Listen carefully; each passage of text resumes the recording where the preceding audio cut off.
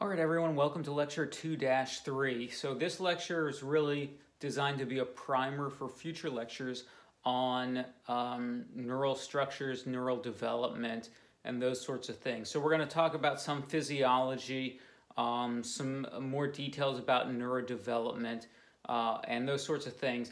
So uh, just to uh, give you an understanding about what's testable material, this is not a physiology class. I'm not going to ask you about physiological um, things. We'll talk about action potentials, and we'll talk about that in just general terms. In your physiology class, you'll get much more detail about uh, action potentials and channels and, and things like that. But this is just to uh, get everybody on the same level uh, to start off with. So uh, within the central nervous system, there are two uh, main types of cells. There are neurons and glia. We all think about the neurons when we think about the central nervous system because they transmit the action potentials uh, and uh, store memories, things like that. Uh, there are multiple different morphologies of neurons, and we'll talk about all of those different morphologies as the class progresses. Um, but right now we'll talk in general, general terms about what a kind of idealized neuron looks like and its features. But glia form a large portion of the brain. In fact, uh, there are likely to be two to 10 times as many glia as neurons, depending upon the region of the brain we're talking about. Uh, so glia provide some of the structure to the central nervous system. They form things like the blood-brain barrier that protects the brain from infection and from toxins. Uh, they will also help uh, insulate the neuron so that the action potential can travel quickly uh, from one neuron to another. Uh, they also nurture the neurons, they help to recycle neurotransmitters and to provide nutrient support to the uh, neurons of the central nervous system. So they really play a critical role and as research evolves, we're understanding uh, more so how critical these glia are in uh, dysfunctions of the central nervous system. So here we have a drawing of kind of the general morphology of a neuron. Of course, we have the uh, soma of the neuron. The soma means the cell body. It's another term for the cell body of a neuron. You may also hear uh, the term perikaryon. That also means the cell body. So the cell body is that central portion where the nucleus is located. Branching out from that central portion will have a number of different structures that form the uh, functional elements that make neurons so special. So first of all, we'll uh, identify an axon hillock. The axon hillock is basically the trans uh, the um, the zone where the uh, cell body of the neuron uh, transfers into the axon of the neuron. So every neuron is considered to have one axon and many dendrites.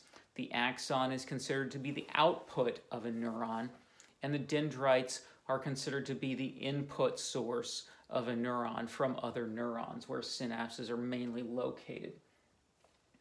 Uh, so we see one main axon here with myelin ensheathing that axon. Myelin is actually portions of the oligodendrocytes, which are glial cells that ensheath the uh, neural axon. Uh, so that increases the conductivity of the signal down the axon. There are going to be nodes between the uh, myelin sheaths and those nodes are ideally spaced in order to facilitate the transmission of that action potential down the axon. so we can also see numerous different dendrites branching off of uh, this axon, and, and we'll see different types of uh, neural morphologies where there may be just one dendrite and one axon or multiple dendrites uh, different branching patterns, and those types of neurons will have different names. So the action potential wave starts in a dendrite, travels down through the soma to the axon, uh, eventually to synapses with other neurons. And in these synapses, it will release the neurotransmitter that will then activate or inhibit the target neurons, the postsynaptic neurons. So in this entire slide deck, this is probably um, the slide that you should pay attention to the most. But uh, I'm an anatomist, so I can only count past 10 if I remove my shoes and socks. So I'm not testing you on numbers. I don't want you to remember specific numbers from this table. What I want you to remember is the concepts. The concepts being that different classes of neurons, uh, uh, neural axons, are different sizes and have different thicknesses of myelin sheaths. And those different sizes and thicknesses of myelin result in a different speed uh, for these action potentials to travel. So this different functionality, the speed of the action potential correlates to the different uh, types of structures that are innervated by these neurons. So in this table here, I'm showing you the different class of the neurons, the diameter of that axon, the speed at which that uh, action potential can travel down these different types of axons, whether those axons are myelinated or not, and then what types of structures are ultimately innervated. And we'll learn more about these different types of structures uh, very soon in an upcoming lecture. But you'll notice uh, that I've color-coded these, so there are some very fast axons with very fast action potentials. There's some intermediate ones in yellow, and then there's some very slow ones. We'll notice that the C fibers are the only types of fibers that are not myelinated.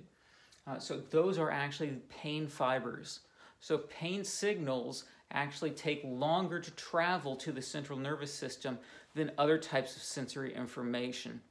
So for instance, say you pick up a, uh, a, or touch a hot stove or a hot pot on a stove or you put your finger in boiling water, the first sensation you feel is of touching that object. It's a hard object, it's metal, it has a certain texture. And then moments later, your brain will receive the pain signal, oh, it's hot. And then you'll jerk your hand away. So that is a direct result of the different amounts of myelination and the different diameters of these different types of axons, which convey different sensory information. Uh, so that's what this table is really telling you. So the concepts that there are fast uh, transmissions of information and slow transmissions of information is important. So the picture I have at the bottom here, this is actually one nerve. And each nerve contains many different axons within it. Each axon within that nerve might be conveying a different modality, a different type of information to or from the central nervous system. So here we're blowing up a portion of this electron micrograph of that nerve, and we can see that some of the axons in that nerve are highly myelinated and some are not myelinated at all. By looking at this image, you can actually tell which nerves are pain fibers, which nerves are proprioceptive fibers, or which nerves are, are um, part of the muscle spindle or Golgi tendon reflex uh, arcs within the spinal cord because we can notice the different amounts of myelination. So that's the important concept behind this table. Again, please do not memorize speeds or diameters or anything silly like that. I just want you to understand and know the classes of axons, what structures they innervate, and whether they're relatively fast or relatively slow. so we've talked about the axon, we've talked about the cell body, now let's talk about the synapses. Synapses are the uh, connections between different neurons. These connections uh, rely on, a, a, on proteins that kind of physically link uh, these different uh, neurons together, but the information that's transmitted between the neurons is transmitted via a chemical signal within that synapse. So a synapse can actually be located anywhere on the cell body of another neuron. It can be located on the dendrites of a neuron, on the cell bodies of a neuron, or even on the axons of another neuron. And depending upon where that synapse is, it has relatively stronger or weaker influence on its target neuron, on the postsynaptic neuron. So a synapse that's closer to the cell body or, or closer to the uh, axon, uh, located within the axon, that's going to have a larger influence on the activity of that neuron and its transmission down its axis than a synapse that's located on a dendrite. So it's just important to understand uh, the gradient that exists within the central nervous system and within biology in general. So here I'm showing you a fluorescent image of one, elect uh, one uh, neuron. Uh, so this one neuron has been injected with a green fluorescent dye. Uh, then the slide was stained with a red fluorescent signal to stain all of the synapsin proteins which label the synapses of a neuron. So we can see wherever the red stain uh, overlaps with the green from this one neuron, we see yellow uh, dots within this image. And so one neuron in the central nervous system can have as many as 1,000 different synapses on it throughout its entire uh, structure, dendrites, axons, and the cell body. So within our central nervous system, uh, we have approximately uh, 100 billion neurons. And if each neuron uh, has 1,000 synapses on it, that means there are 100 trillion different possible connections within the central nervous system.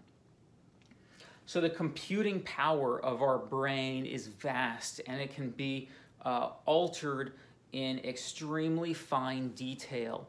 In fact, it's been estimated that the computing power of the human brain uh, is around uh, 60 petaflops. So petaflops uh, is a computing term mainly used for supercomputers, uh, floating operations per second.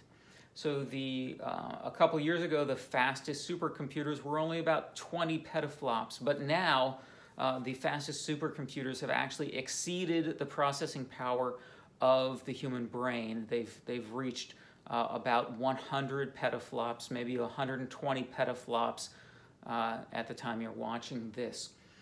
It's interesting to note that it only takes about 20 years before the computing power of a supercomputer makes it into a handheld device like an iPhone. So the computing power in your cell phone, your Android, your iPhone, whatever, is about the same as the computing power of the fastest supercomputer 15 or 20 years ago. So just think about as our world is progressing and, and as technology is advancing, uh, in about 20 years, we are going to have artificial intelligences in the palm of our hand that uh, are uh, more, more capable at uh, computing than we are and have complete access via the internet to the whole of human knowledge. Uh, so it's, it's a pretty amazing um, way that our technology is advancing and overcoming our own biology.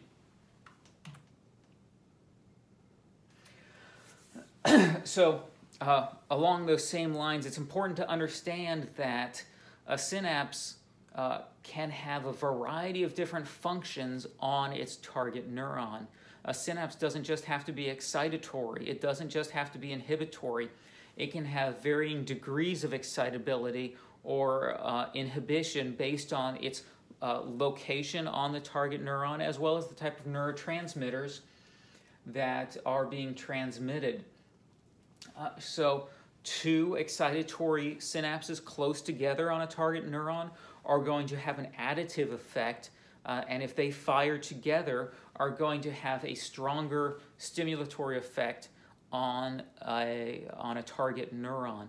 At the same time, if an inhibitory neuron is firing on a target neuron, doesn't uh, you know it that target neuron is balancing the excitatory and the inhibitory uh, stimuli that it's receiving, and it has to uh, synthesize that information and determine, uh, come to a, a, a uh, physical, uh, electrochemical, you know, balance point where the neuron either fires or it doesn't. So this is all dependent upon these spatial orientations and, and synapses and the different uh, neurotransmitters, uh, the multiple synapses on one neuron. So it's important just to understand these concepts and the magnitude uh, of the variability within the central nervous system. So in this way, there are uh, there's the potential for multiple different types of uh, of uh, depolarization potentials on a target neuron. So there are graded potentials and action potentials. So a graded potential on a neuron is uh, confined within a specific location on the target neuron. It doesn't spread across the entire neuron. It's too weak to spread across the entire neuron. So the magnitude of that signal decreases as, uh, as the distance increases away from that synapse. And the magnitude of a graded potential can vary based on the amount of activation, the amount of neurotransmitter that's released in that synapse. An action potential, however, is propagated across the entire target neuron. Uh, so it is going to, an action potential will stimulate the release of neurotransmitter uh, within the axons, the synapses uh, of this target neuron and continue that firing potential to another neuron. So an action potential requires a strong enough uh, activating signal uh, for that entire neuron to depolarize. Otherwise, you just have a graded potential.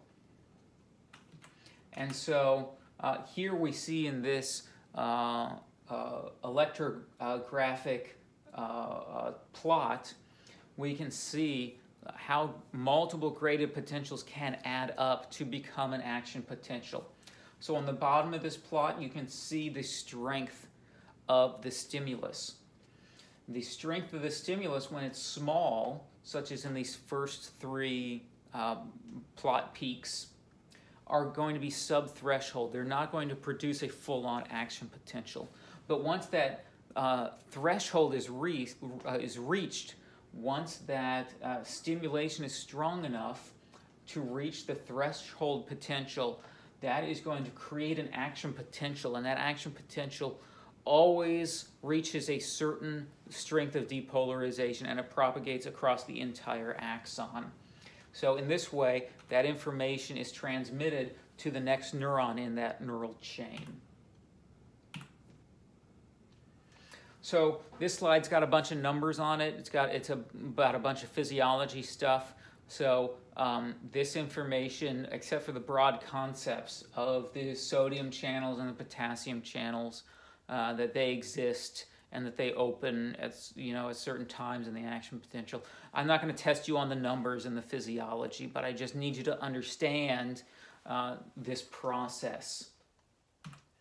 So um, during an action potential, there are certain different portions of this peak that we have to identify. There's the rising, uh, the pre-threshold portion. After we hit the threshold, there's the rising phase. During the rising phase, the sodium channels open and sodium rushes into the neuron. Uh, once sodium uh, rushes in uh, and is saturated, reaches its peak, then the potassium channels open and potassium rushes out of the cell very quickly. And that's what causes the falling phase of the action potential. Now, those potassium channels are delayed, so they stay open uh, past the, the threshold as it goes down past the threshold. And this forms an undershoot where the neuron becomes hyperpolarized. So during this undershoot phase, a neuron cannot be reactivated. So there's a delay, there's a time length in which a neuron cannot be activated too quickly, too abruptly. So there's a maximum firing rate uh, for these neurons as the potassium channels slowly close. And so the next few slides kind of try to uh, bring home this point by showing you kind of visually what's happening in the different phases. So here we're in the first phase, the resting state of the neuron. The next phase, we go to the rising portion of the action potential uh, wave where the sodium channels are open, sodium rushes in. Uh, then we hit the peak, the potassium channels open, potassium rushes out, etc., etc. Uh, so there are some important clinical associations that you need to understand about this process, which is why I'm telling you about it. These sodium channels are very sensitive, and there are a number of different mutations that can change the activity of these individual ion channels. Uh, so a person with such a mutation is said to have a channelopathy because their channels have been mutated and their channels are not operating correctly. So this can uh, have consequences like delays in the onset of an action potential or delays in the uh, dynamics uh, in whatever way of the sodium and potassium channels opening and closing. So this is particularly critical in the heart, in the musculature, the cardiac muscles of the heart. So one particular syndrome called long QT syndrome, in which uh, an arrhythmia develops uh, over time as the, um, the repolarization of the cardiac muscle is delayed. So in these individuals, uh, if their heart rate gets too high, then their heart will begin skipping beats uh, because of the delay in these, uh, the closing of these potassium channels uh, and other such dynamics. So QT refers to the different peaks in the electrocardiogram. Uh, so I'm sure in, your physiology class you'll learn all about those different peaks of the electrocardiogram, uh, so you'll be fine with that. Or you can, of course, uh, search uh, through your materials, your textbooks, Google, and learn about the different wave peaks of the electrocardiogram. Uh, so there are other syndromes uh, that I'm mentioning here. Uh, periodic paralysis uh, occurs in individuals uh, uh, with defects in their sodium channel. If they exercise too much, then their muscles actually undergo flaccid paralysis because the sodium channels are no longer functioning correctly. so these people, if they overexert themselves, they actually become paralyzed. So this is an important thing to be aware of in your patients as physical therapists, of course. There are sodium channels in the retinal neurons and ganglion cells in uh, the eye, and defects in these channels, particularly potassium channels, can result in night blindness, where the eye is not sensitive enough to detect the, uh, uh, photons in low light conditions at night. So these people um, actually uh, might have a designation on their driver's license that they're not allowed to drive at night. Uh, so that's another example. Also, febrile seizures is a very common example of channelopathies. In a febrile seizure, the high temperature is going to uh, result in changes in the conformation of the sodium channels within the neurons of a child, and um, that will result in um, possible seizure activity. So these are all things to be aware of. That's uh, so whenever there's a structure in biology, there can be changes to that structure, and that change can result in uh, clinical conditions that you need to be aware of in your patients. Uh, so here on this slide, um, just talking about the different types of neurotransmitter receptors on the uh, target neurons. So there are ionotropic receptors, which is what we basically I've inferred about uh, up to this point. In an ionotropic receptor, the neurotransmitter uh, binds directly to the ion channel and, and opens that channel or closes the channel if it's inhibitory to change the uh, electrical potential across the membrane. But there are also metabotropic receptors. So metabotropic receptors are slower in their action. Uh, in this case, a neurotransmitter binds to a receptor, a protein receptor on the surface of the phospholipid membrane and that binding causes a conformational change in the receptor, uh, transmits that conformational change to a uh, signaling molecule or signaling protein within the neuron. And that signaling protein uh, perhaps will travel into the nucleus and stimulate the formation of proteins within that neuron or, or other things like that. So it's a slower process, but it can change the nature of the neuron much more so than an ionotropic receptor can. So this slide is just to um, confuse you and, and make you scared about the vast nature of the central nervous system. So uh, here on this slide, I'm showing you about um, 60 different neurotransmitters just for the, um, uh, let's see, just for the glutamate neurotransmitter. Uh, no, no, I'm sorry. In fact, these are um, receptors for just ionotropic uh, uh, receptors. And so there's about 60 different types of these ionotropic receptors, and each one has a slightly different function, binds a different neurotransmitter. If we add in the metabotropic neurotransmitters, we get uh, over 100 different types of receptors within the central nervous system. So not only are there uh, different synaptic locations that can modify a neuron and uh, different excitatory or inhibitory neurons, but there are 100, 100 different receptors that have different degrees of activity and are located in different regions of the central nervous system, which can all modify the activity of neurons within the central nervous system, changing our cognitive and automatic and autonomic behaviors. So I don't want you to memorize anything on this slide. Please do not look at this slide ever again. But the point is to convey the complexity of the central nervous system. So now the next few slides talk about the different types of neurotransmitters. And again, on these slides, I don't want you to memorize anything at this time about these slides. As we get more into the central nervous system lectures, you'll understand what these different regions of the brain are and the importance of them. But right now, just understand that a multitude of different neurotransmitters exist. Uh, uh, neurotransmitters like acetylcholine on this slide. The next slide has serotonin and it shows um, how important serotonin is for regulating uh, the activity of the central nervous system as well as dopamine. Uh, we'll talk uh, all about these different neurotransmitters later. Norepinephrine, critical for um, uh, maintaining your wakefulness and arousal and attention in the central nervous system.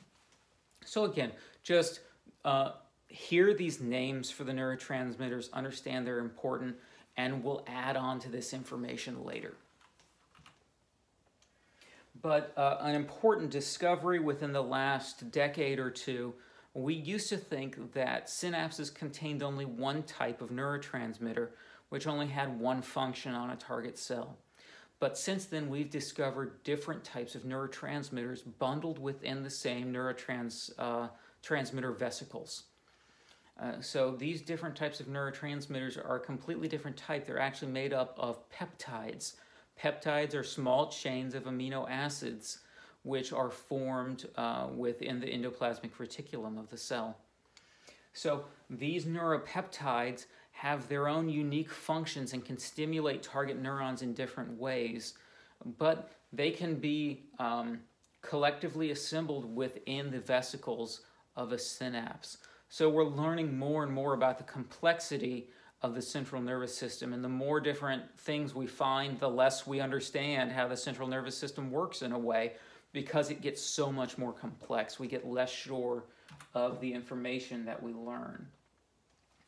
So the next few slides are about development of the central nervous system. Last time we talked about development, we talked about gastrulation and the subsequent neurulation, the formation of the neural groove and the neural tube.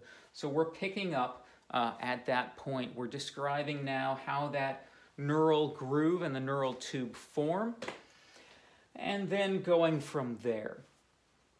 So um, these slides you can uh, read on your own. One thing I will highlight, uh, so uh, the previous this slide here is talking about how there are, uh, the neural tube closes uh, centrally and that closure expands rostrally and caudally. It expands toward the head and toward the tail or toward the, the uh, bottom of the embryo.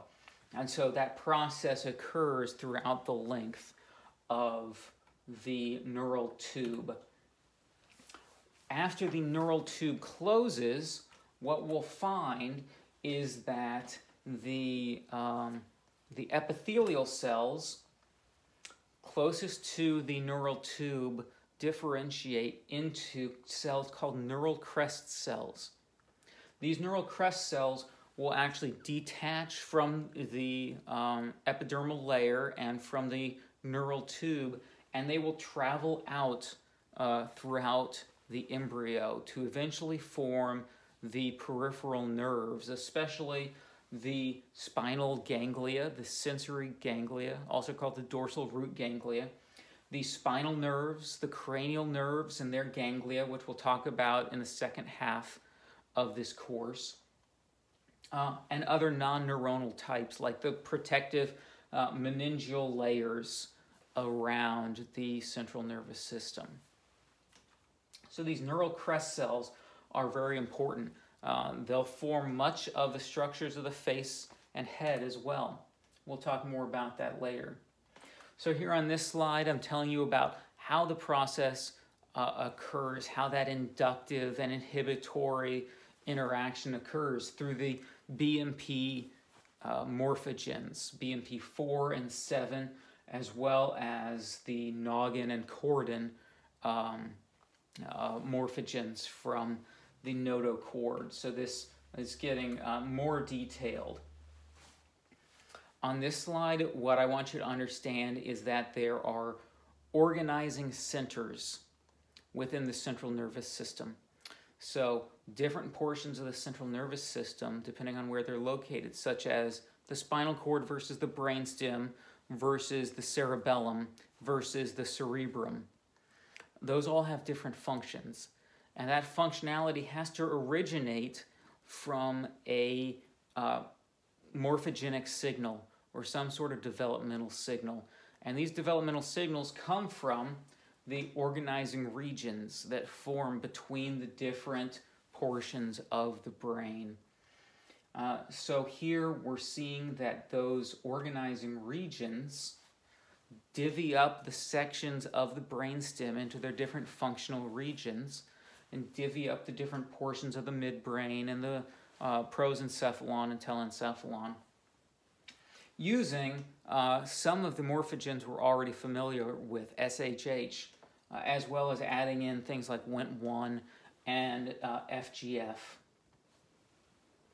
Uh, so you can read this slide, understand that um, the information on this slide is um, not particularly low-hanging fruit.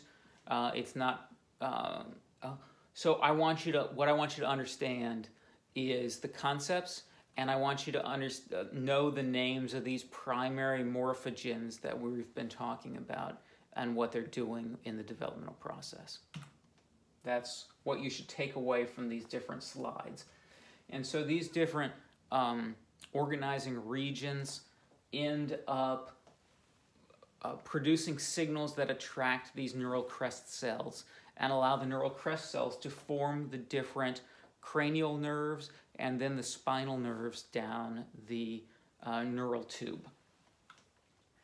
And so that process is regulated in part by important genes called Hox genes. Hox genes um, direct the segmentation of our bodies during development. So just understand that Hox genes exist. There are, uh, I think I removed the slide, there are a number of different Hox genes uh, for each different region of the central nervous system uh, and the body. Uh, and so they are causing the formation of the different structures of our body. So on this slide, I'm showing you the terminology between the uh, embryonic region, the developmental region, and the adult region of the central nervous system. So you may hear me use these terms in the lectures. Um, so it's important that you can understand what these terms mean when I use them. But I'm not going to have a question on the exam um, from which uh, embryological region is the cerebrum developed. Uh, that's too easy a question. Uh, so um, not going to bother with that. I'm just going to assume that you know this information. so another important part of development is corticogenesis, understanding the, the formation of the different layers of the cerebrum. So our cerebrum is the thin, one millimeter thick layer that surrounds the bumpy, that is the surface of our brains uh, throughout all of the cerebrum. And this process occurs much like the migration of neurons in the neural tube. So there are radial glial cells with processes that extend up uh, through the, um, the primordial brain, the primordial prosencephalon. And so neurons uh, form that neurogenesis is uh, is being um, is occurring in the ventricular zone where these radioglial cell bodies are. And these neurons, as they form, grab onto the processes of these radioglia and inch their way up uh, following a morphogenic gradient, which is being sent by the subplate. So the subplate is giving off these morphogens, and these new glia that are forming are inching their way up the radial glia. Once they get past that subplate, they stop and they start differentiating into uh, full-blown neurons, adult neurons. The uh, next group of neurons that are being formed in the ventricular zone are following those up. They travel past the subplate, past the layer that was just formed, and uh, form the next layer. They stop after that subsequent layer. So in this way, we form the different functional and histologically important layers of the central nervous system. So during this process, the result is that we get these different uh, six layers of the cerebrum of this one millimeter thick layer of the cerebrum. And so we'll come back to this same image multiple times throughout the semester, throughout, throughout these lectures, and we'll add on information about the functionality of each layer. Um, but right now, just the idea that these layers exist is important.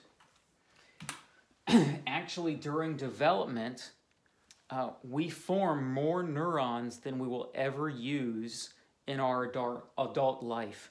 So the moment we are born is the moment of our maximum number of neurons in our central nervous system. As we age and grow, our neural connections get refined and pared back. So as we uh, as our neurons in our central nervous system randomly fire, the ones that connect to a lower motor neuron get nourished and strengthened. So you may have heard the term neurons that fire together wire together. So the more often that a neuron fires uh, on another neuron, the stronger that synapse gets, the stronger that connection gets. And the neurons in our central nervous system, when we are born, that fire and don't activate a postsynaptic neuron, they end up dying off. So actually, uh, about 50% of the neurons in our central nervous system have died off by the time we, we reach 30 years of age. And when we're 30, that's when our central nervous system is most efficient because that's when uh, the uh, right number of neurons are present to produce the right outputs that we need. Uh, and then um, after that peak time, you know, then uh, we start to become decrepit and aged and old like me, and we don't work as well anymore. And uh, that's the end of our usefulness. Uh, so, uh, anyway, the concept here is that fire together, wire together. This is part of the learning process. This is part of what's called long term uh, differentiation, which forms memories in our brain. So the more often you revisit this information, the more different ways you reproduce the information that you're learning and that you're being exposed to, the stronger those memories will be formed. You can't just sit there and stare at a picture in your textbook. You have to reproduce the information. You have to understand what you don't know so that you can repeat that again and again and learn it uh, better and better. So in that learning process, you're forming new synapses, you're paring back irrelevant synapses. If you got something wrong once, you have to repeat it uh, correctly even more times to pare off those wrong synapses that you formed. Uh, so anyway, that's the end for this lecture. I uh, hope you enjoyed it. See you next time.